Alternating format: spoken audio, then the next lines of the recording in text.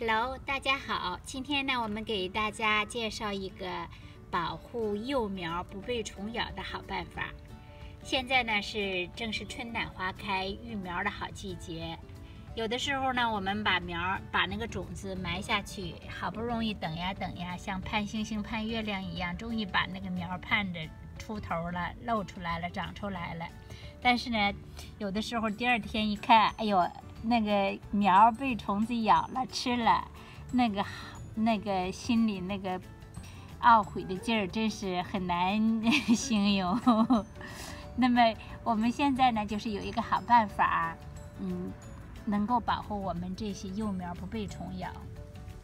这个办法呢，就是你把这个瓶子呢，就是瓶子的上部，饮料瓶，对，饮料瓶的上部。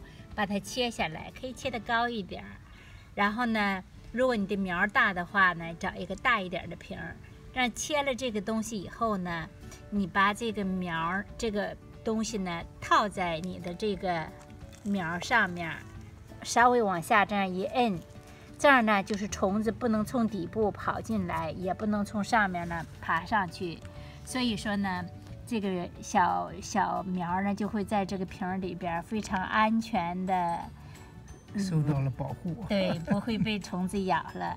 而且呢，如果说有的时候倒春寒，天气夜里天气冷的话，那还可以起到保保暖的作用。这个瓶儿呢，你可以呢白天的时候把它拿下来，因为一般的时候白天你的这个好像它虫子都是在夜里活动，白天的时候好像它们不来咬，一到夜里它就来咬。所以说呢，晚上的时候你把它盖上，然后呢第二天早晨呢你把它再拿下来晒太阳，这都可以。我就是不拿下来可能也可以，但你要想拿下来，白天拿下来，但是晚上一定要记着把它再盖上。我们一开始的时候呢，就是刚长出来的第一颗芽，然后呢就被虫子吃掉了。